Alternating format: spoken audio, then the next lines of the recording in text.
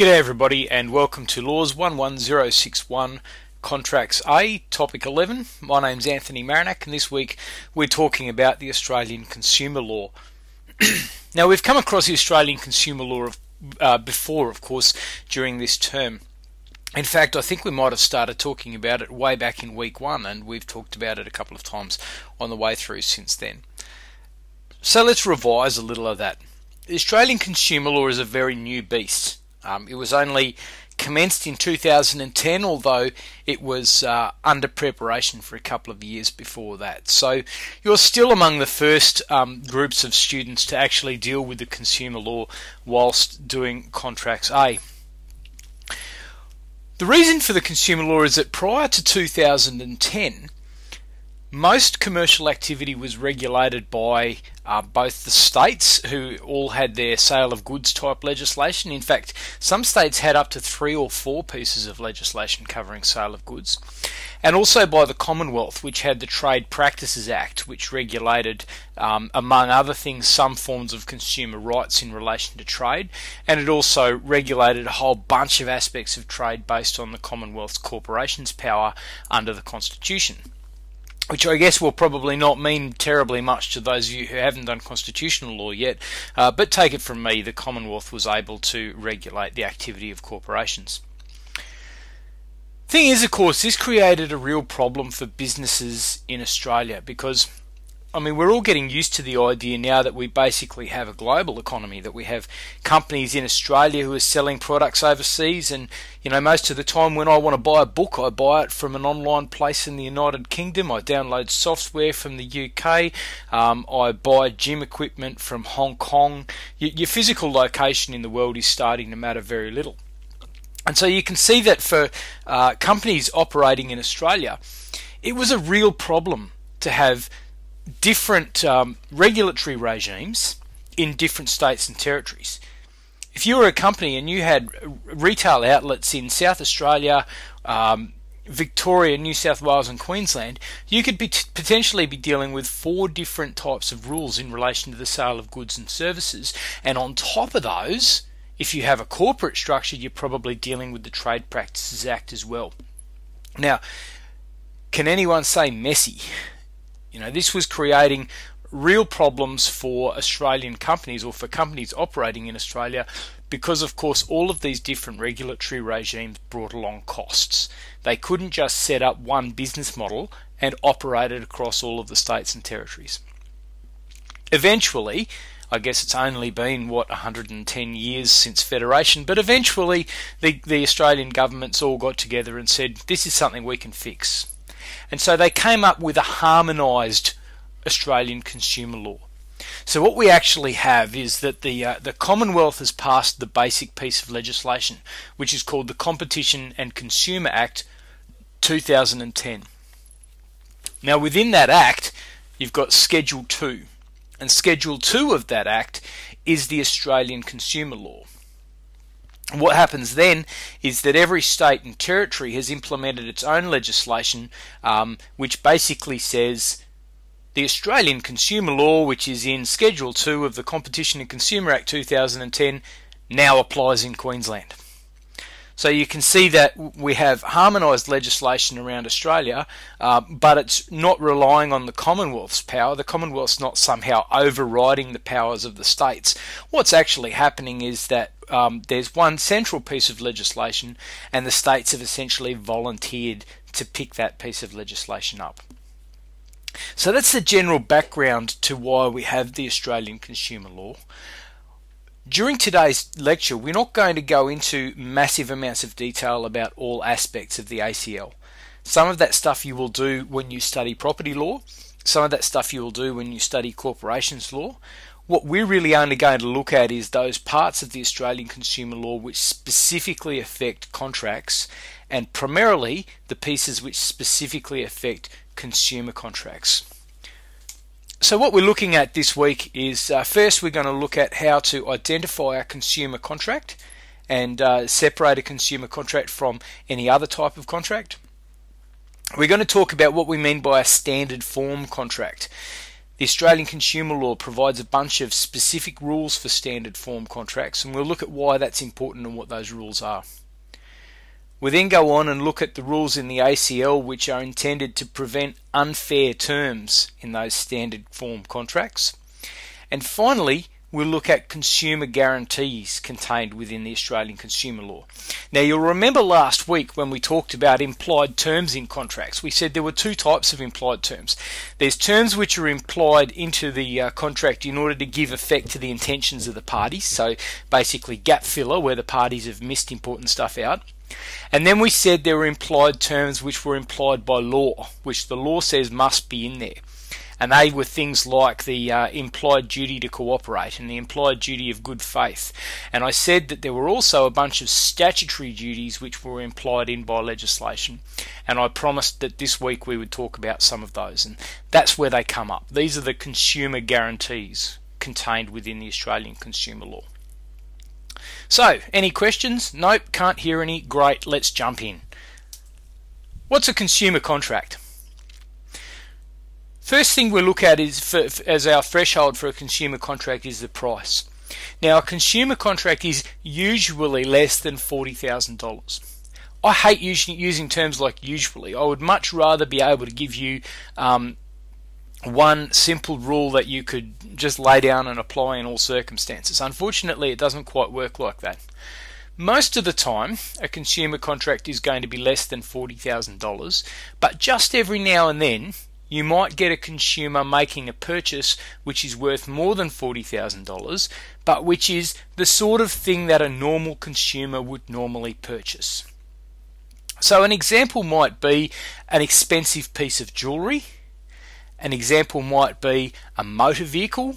Motor vehicles these days are quite commonly above $40,000.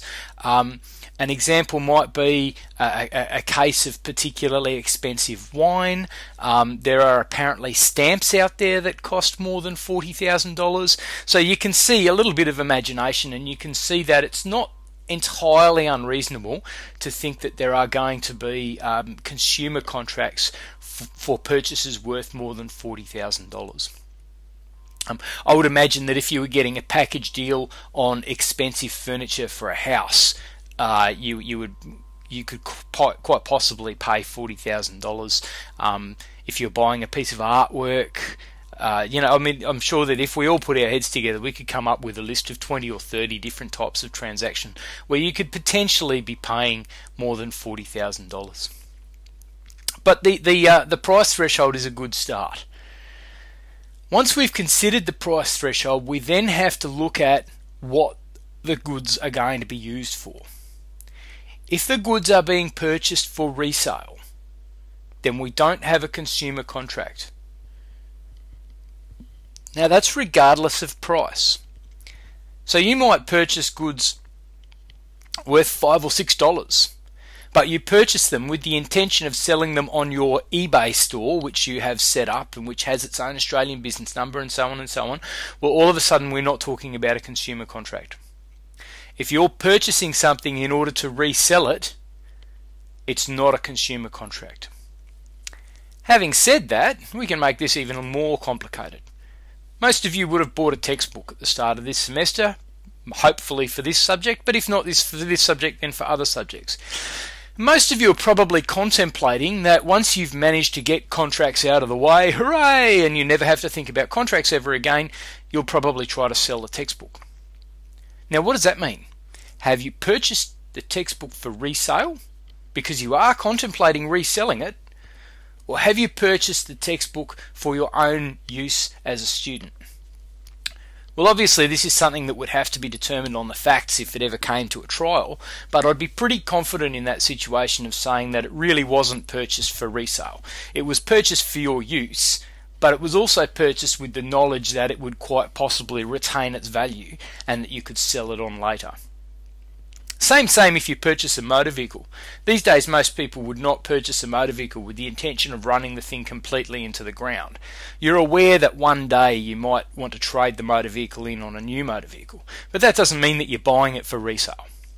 To be buying something for resale, you have to be buying it with the primary intention of reselling it usually for a profit. The second thing is that it's not for use in trade or commerce. And what we're talking about there is what we call transformation or manufacture. So if you're going to take, if you're going to go down to Bunnings and you're going to buy a heap of timber, and your intention when you buy that heap of timber is to use your uh, your skills at carpentry to turn that timber into furniture and resell it, then we're not talking about a consumer contract. On the other hand, if I go down to Bunnings and buy that same wood in order to use my very modest skills at carpentry to make something to try and impress my wife and use around the home, that is a consumer contract. Okay, because the first, in the first example, the wood is being purchased for transformation in the course of trade or commerce. In the second case, it's being uh, purchased for personal, domestic, or household consumption. Now, look, all of this is really just a way of formalizing stuff that you all pretty much understand anyway most of the time when you're analysing these sorts of contracts to try and work out whether they're consumer contracts or not, you're pretty safe to just trust your instincts. Is something being done in order to uh, uh, pursue business, or is something being done in order to uh, satisfy personal, domestic, or household consumption needs? Occasionally, there'll be grey uh, grey areas in between the two, particularly where you get people who are working or operating businesses from home. But generally speaking, it's not that difficult to work out whether uh, a contract is a consumer contract or not. Now, why does this matter? If it's not a consumer contract, then you can click stop on the rest of this lecture. None of the rules that I'm about to talk about for the rest of this lecture matter in business or other non consumer contracts. These rules are intended to protect consumers only. So, if some sneaky bloke called Marinac puts a question in the examination that seems to talk about the Australian consumer law, but you realise that the contract is actually not a domestic or consumer contract at all, don't go applying the Australian consumer law. Okay, if you do, then you will get a terribly bad mark and I will draw a sad little face on your exam paper. The rules that we're talking about today are just for consumer contracts, so you've got to start by getting past that threshold. What we do have to do then is divide our consumer contracts into standard form contracts and non-standard form contracts what we've got there on the uh, on the slide is a picture of boilerplate. You've got no idea how hard it was to try and find a picture to illustrate the idea of a standard form contract. But boilerplate is what they refer to as um, as the fine print, which is just repeated and repeated and repeated. So, what's a standard form contract and how does it fit in with boilerplate? Well, a standard form contract is usually a pre prepared contract which is just provided to the seller. Um, I know that for a long time Harvey Normans used to do this all the time, and I'm not picking on them in any way. It's just a great example that you would show up to the uh, to the checkout at a Harvey Norman, and instead of just getting a little normal receipt like you would get from uh, any other um, retailer, they would they would print off a great big invoice with all sorts of terms and conditions attached to the back, and basically what they were printing was a standard form contract. Now Standard form contracts have got a bit of a bad rap over the years because people so, almost sort of see them as a, a shonky way to do business. They're actually not. Standard form contracts are great because they reduce the transaction costs. Can you imagine how expensive it would be if everyone who wanted to buy a TV at Harvey Norman's had to sit down with one of their managers and negotiate a contract from the ground up? It would add, it would probably double the cost of everything that you were trying to buy. It makes much more sense when you have repeated, almost identical transactions to have a repeated, almost identical contract. So we can start out with the idea that standard form contracts are actually very useful in normal trade and commerce, but they do come with a risk. And the risk is that it's usually the retailer who prepares the standard form contract and truth be told, it's usually only the retailer who ever actually knows what's in it. There's not too many people are going to sit down and read the contract from start to finish to make sure they fully understand what they're signing up to. And we know from L'Estrange and Graucob a few weeks ago that if you sign it, then you wear it, regardless of whether you actually read it or not. In fact, a couple of years ago, when I was uh, making preparations for my wedding, I had a look at the contract, the standard form contract that I'd been sent by the videographer, and it contained some very odd provisions which I wasn't happy to sign up to. And so I emailed them back and said, "Hey, can you explain why these provisions are in there?" And uh, the the store manager contact or the practice manager contacted me back and she said, Well, actually, I've never read this contract before, so I really can't explain why those provisions are in there. So you can see the standard form contracts, whilst they, they do have a lot going for them in terms of helping to reduce transaction costs, they come with this risk that either the buyer, or in some cases the buyer and the seller, may be signing up to something that they really haven't thought through. Now, if we go one step dodgier,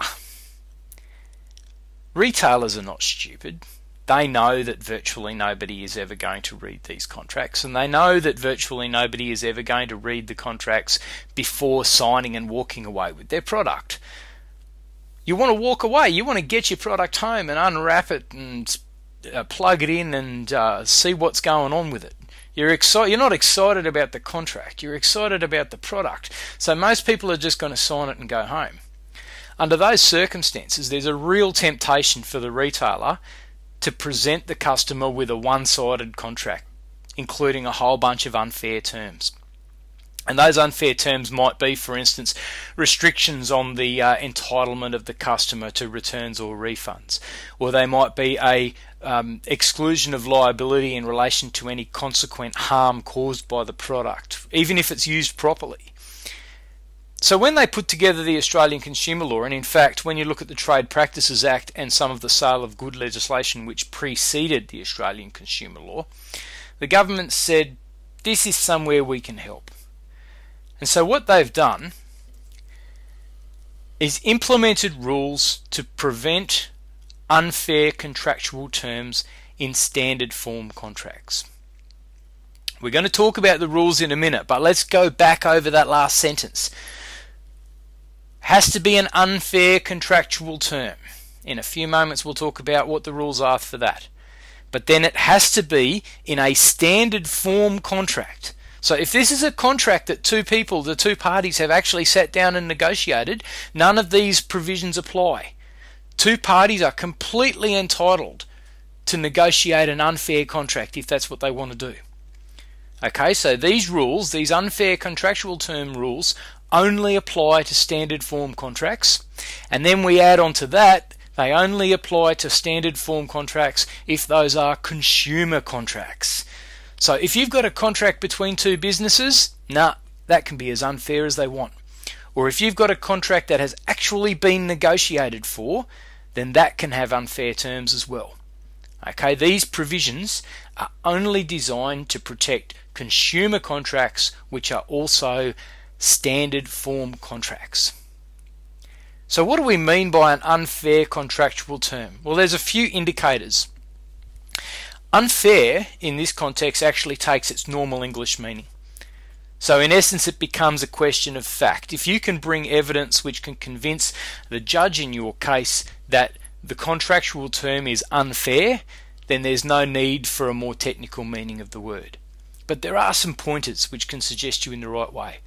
The first thing is the contractual term must create a significant imbalance in rights and obligations between the parties. So, a term which might look unfair when you first read it, if you go through and actually work out how it applies in the circumstances of the contract, you might find that it actually doesn't operate to create a significant imbalance in the rights and obligations of the parties. Okay, so what you have to look at is how is this provision going to actually work when the contract um, is given effect, when the contract is executed. If it doesn't create a significant imbalance in the rights and obligations of the parties, it's not an unfair contractual term. Realistically, though, that bit's usually the easy bit to, to work out. The difficulty comes with the second dot point. You see, a standard form contract is allowed to include a contractual term which creates a significant imbalance in rights and obligations if that contractual term is reasonably necessary to protect the legitimate interests of the party proffering the term. So, what that means is that um, depending on the circumstances of a particular type of business, they may actually be able to impose what on the what might look like quite unfair contractual terms. The example that I've given in the notes, I think it's a pretty good one, and I don't just think that because I made it up. We've got two retailers who are each selling shirts. Retailer number one is selling shirts that you buy off the rack. Okay, so you get a chance to try the shirt on, you get a chance to have a look at the stitching, admire yourself in the mirror, work out that it all looks great. Retailer number two is selling bespoke shirts. So they're making them up exactly to your measurements. You go in, you choose out the fabric, you choose out the thread, you get measured up by someone who calls you sir a lot, and then you come back two weeks later for a fitting, and then you come back two weeks after that and you've got a shirt. Now, let's look at both of these situations. If we get our shirt home and we decide that we don't like it after all, or we decide that we're unhappy with the workmanship, in the first case, where all they're going to do is stick it back on a coat hanger and sell it to someone else, there's really no loss suffered by the company. So it would be unreasonable for the company to, to uh, have provisions in a standard form contract that really operated to the disadvantage of the customer. In the second case, though, the whole point of the shirt is that it's made specifically to your measurements. And so if you give it back to them, there's nothing they can do with it. They can't go and sell it to someone else as a custom made shirt because it was custom made for you.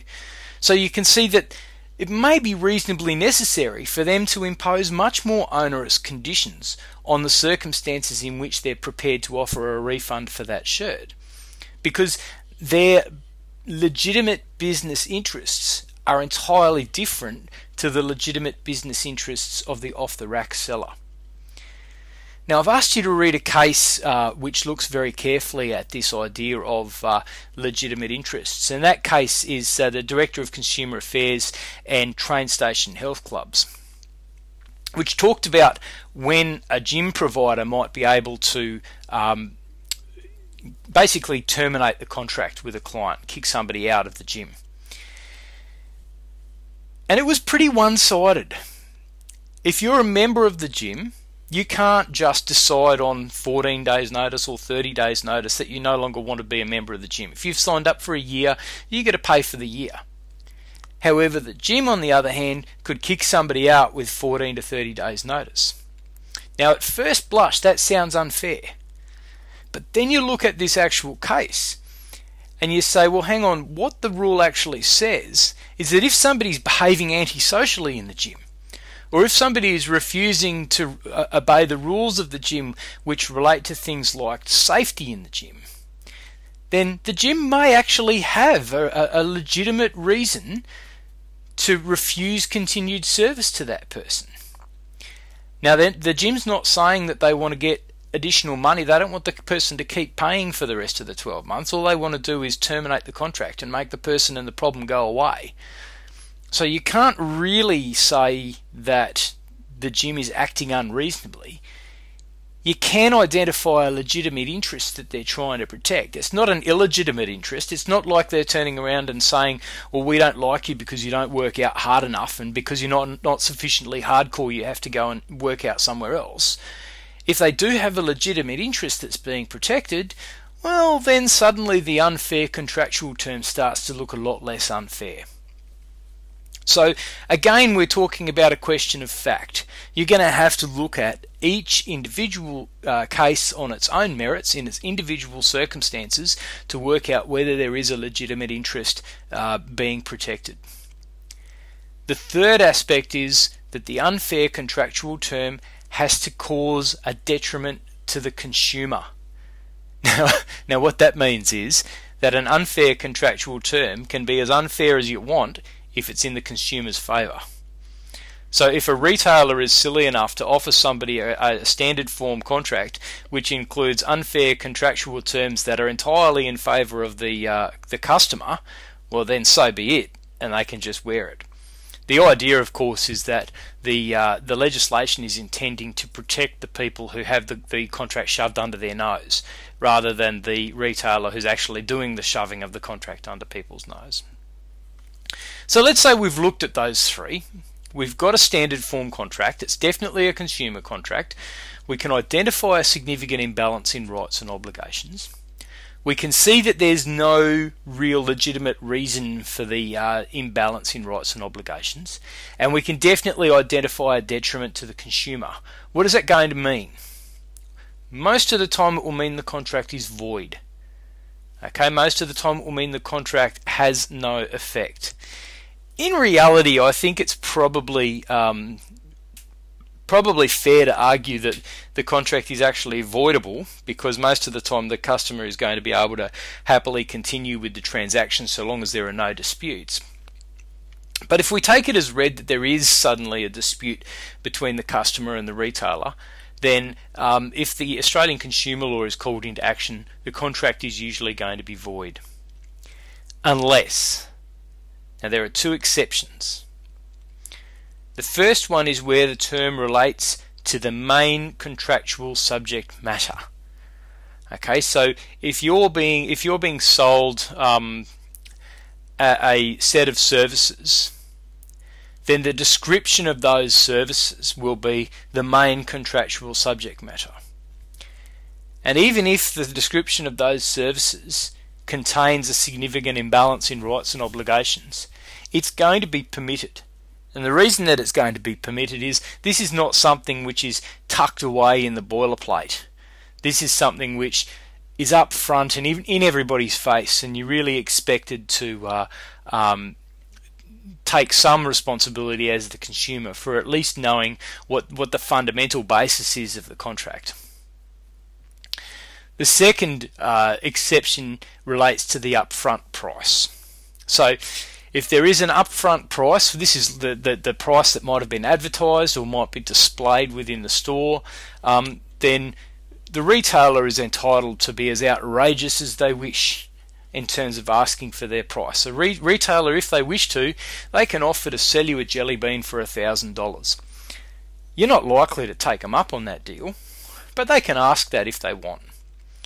Okay, so um, a few years ago, some of you may remember that uh, that Ansett Airlines ran into a great deal of trouble and eventually folded. Now, this isn't a consumer contract, but it's a great example uh, where something that looks unfair can be offered. When the liquidators took over Ansett for about two weeks, they were hoping that um, that Virgin Australia may buy out all of Ansett's aircraft and facilities. And so they offered Ansett for sale. The entire company was offered for sale for a price of $1. Now, nobody took the offer up because by buying the company, you would also be buying the massive amounts of debt the company was in. But you can see that initially it looks a little bit unfair or a little bit one sided to be selling an airline for a $1. But it's quite okay you can, you can make whatever out, even in a, a an un, uh, in a consumer contract, in a standard form contract, you can make whatever outrageous requirements you like in terms of cost, because the law requires on the market to give people the opportunity to walk away. Okay, so uh, there's no need for that term to be protected by the Australian consumer law. So that's how it works. Uh, that's how the law works in terms of um, unfair provisions in standard form consumer contracts. Where does this fit in with the rest of our contract law? Well, essentially, it puts limits around um, the freedom of contractual, the the freedom to contract. And what you might remember is that right back at the start of the semester we talked a little bit about theory. And I talked about classical contract theory, which basically said people can make whatever contracts they like. And I talked about the idea that in fact nowadays the uh, um, the law does set some limits around uh, what sorts of contracts will and won't be enforced. And so you can see these rules in that context. It is no longer open to retailers to act in a way which um, is unfair if they're going to be presenting customers with uh, a standard form contract. What it means for you as a lawyer is that the provision is void. Okay, the provision is void, and most of the time that's going to mean the entire contract is void. Uh, if it is possible, however, if it is possible to sever the void provision, um, then you may well be required to do that. But look, for the purposes of our assignment and exams, I, I can tell you now, I'm not going to spring that one on you. Let's move along and start talking about consumer guarantees. I think this is the, the most interesting stuff that we're talking about this week because this plugs right into the implied terms we were discussing last week. These consumer guarantees are basically the Australian consumer law saying, right, henceforth, every single consumer contract in Australia, not just standard form contracts, but all consumer contracts in Australia, will come with a bunch of guarantees. And not only are these guarantees in place, but they can't be contracted out of. So a retailer cannot impose a contract on a consumer where the consumer signs away their rights under the Australian consumer law. Any attempt to sign away the rights for these consumer guarantees is automatically invalid. Okay, the Australian consumer law prevails over that contractual freedom. And there are a bunch of these um, guarantees, and they're all pretty good ones. The first one is free title to goods. Now, I'm only going to talk about this a little bit briefly because the concepts of possession and ownership, and indeed the concept of title, is something that you'll deal with much more uh, when you come to your property law subject. But essentially, um, what they're saying is is an extension of uh, what you will learn is called the Nemo Dat rule which says you cannot sell what you do not have. So a person who's selling goods to a consumer must be able to guarantee that the consumer will be getting free title to both possession and ownership of the goods. That means the consumer will be able to take the goods away in their own possession. The consumer will also be able to execute all of the other entitlements that come along with ownership. You see, ownership is like a bundle of rights.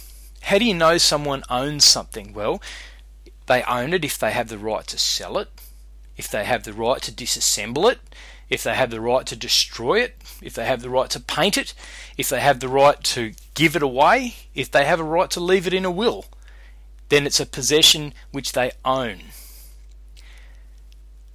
Now, if they can't do all of those things, well, then they don't have free title, do they? And so you can hardly sell something to someone and say, "I'm going to, I'm going to get you to pay me a price for this," if you're not actually able to give them that full bundle of rights. If you're not giving them the full bundle of rights associated with ownership, then you're probably only giving away possession which is the same as hiring something. So if I hire you my car, I'm giving you possession of my car for an amount of money, but I'm sure not giving you ownership of it. I'm expecting it back, and I'm expecting it back in one piece and in the same colour as I uh, as it was when I gave it to you. So you see, what the consumer law says is that for consumer contracts that involve sale of goods, the person selling the goods must be able to guarantee both possession and ownership of the goods. That means if you buy something from the store and you take it home, no one should be able to come back and say, no, hang on, that's my TV and I want it back. The second consumer guarantee I want to talk about is the quality and fitness of goods for any usual or any disclosed purpose. Now, they're quite different.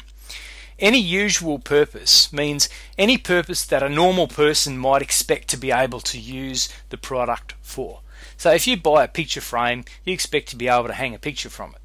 If you buy a um, compact disc, does anybody buy compact discs anymore? If you buy a compact disc, you expect to be able to use it to play uh, music or record data.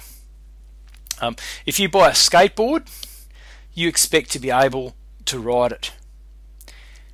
A couple of years ago, there was a Chinese company which was selling cars in Australia, and the cars had a roof rack on them. And inside this roof rack, where you would actually have to be sitting on the roof to see it, was a sticker that said roof rack for decorative purposes only. And this was only realised when people started attaching things to this roof rack and hitting the brakes hard and having the entire contents of the roof rack sail over the front of the vehicle and land on the road. Now, of course, you can see that that roof rack was not fit for the usual purpose of a roof rack. Second uh, guarantee there is the use for any disclosed purpose. Now, I ran into this one just recently myself. I bought a um, heart rate monitor for use during exercise. Bought it at a, one of those sporting goods stores, and I said to the dude who uh, sold it to me, Am I right to wear this if I go for a swim? Will it record my heart rate while I go for a swim? And he looked at it and he said, Yeah, look, says right here, water resistant to 30 metres. So I wore this watch in the surf, and uh, straight away it was kaput. So I sailed back into the store and um, said, "Hey, oh, I want my money back, please, because um, not even a replacement is going to cut it here because the replacement is going to be kaput the moment I get into the water as well." And the guy at the store turned around and said, "Well, look, no. If you if you have a look at the uh, paperwork on this watch, it says that water resistant to 30 meters means that it's basically splash resistant. It's not going to stop working if it gets in the rain, but it doesn't mean you can go and uh, wear it in the in the pool or the surf." And I said to him, "Hey, have you ever heard of the Australian consumer law?" And he said, "Oh yes, yes, but this is not the usual purpose of this watch." And so I gave him my best lawyer's smile and said, Well, problem is that I disclosed to you guys that I had the purpose of wearing this watch in the water whilst exercising before I purchased it. So, guess what, mate? You owe me a refund. Now, I got the refund in the end, but what you can see there is we're talking about a disclosed purpose. So, someone might be buying something for an unusual purpose. As long as they let the retailer know what that unusual purpose is, if the retailer reassures them that the product is fine for that purpose, well, they are completely and utterly entitled then to assume that the product is going to work for that purpose. And if it doesn't, then they're entitled to go back and get themselves a refund. The third thing is that additional warranties, which are provided by the seller or by the manufacturer, must be honoured. So, in other words, if you've got an overseas company which provides a bunch of uh, of guarantees or warranties associated with a product, and you then uh, purchase that product in an environment where the Australian consumer law is valid, so you're purchasing it, say, in a store here in Australia, you get both. You get both the warranty provided by the seller or manufacturer and the benefit of the Australian consumer law.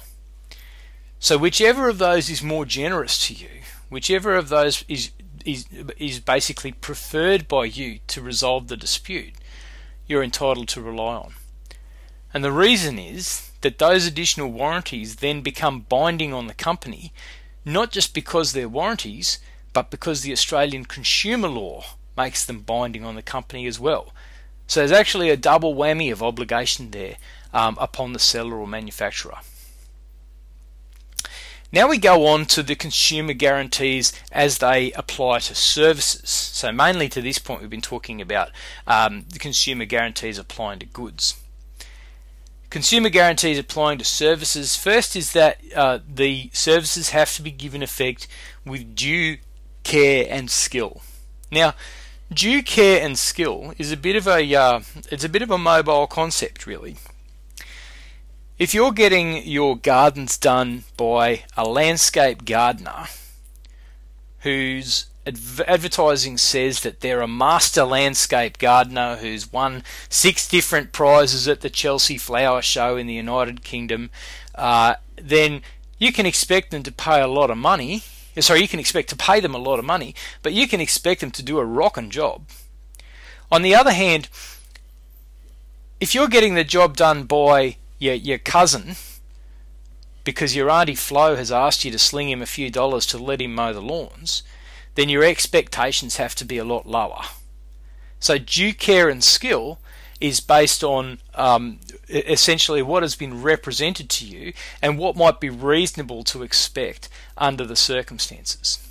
Now, there are some types of operation where due care and skill has to meet a minimum level. If you're going to let someone work on your car, then really you're going to have to, uh, like if it's being done in a commercial environment, then they're going to have to be able to provide you with a due level of care and skill to ensure that the car is returned to a safe and roadworthy condition.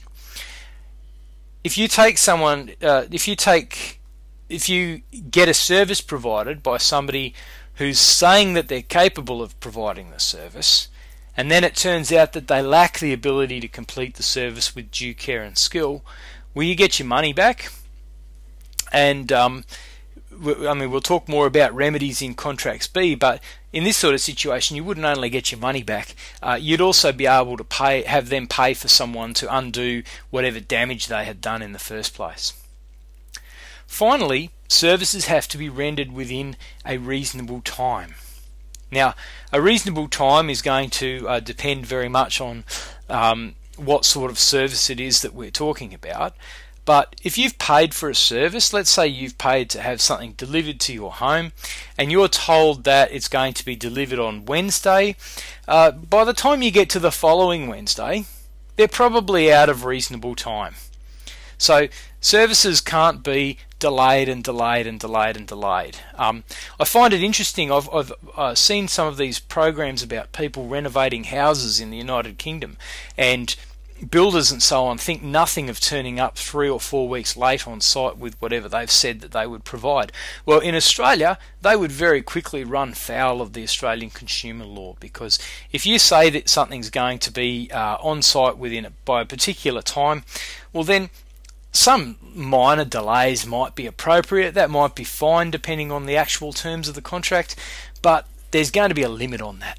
The services have to be rendered within a reasonable time. Now that brings us pretty much to the end of uh, Australian consumer law stuff. I'm very much aware, though. I, I guess I, I I reflect on this every week, but for this week in particular, I'm very much aware that we have been skating over this material at a very shallow level.